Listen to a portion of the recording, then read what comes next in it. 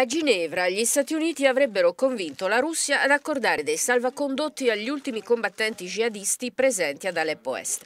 Almeno questo dicono gli stessi jihadisti, smentiti però immediatamente da Mosca. Il Cremlino nega qualunque firma di qualunque accordo di questo tipo. Attualmente meno di un decimo del territorio sarebbe ancora nelle mani dei fondamentalisti armati. La seconda città della Siria sta per cadere, regalando al presidente Bashar al-Assad la più grande vittoria in quasi sei anni di guerra civile. C'è chi teme comunque che molti militanti di Al-Nosra e degli altri gruppi islamici anti-regime possano già aver abbandonato le armi per potersi salvare nascondendosi fra la folla dei profughi civili in fuga.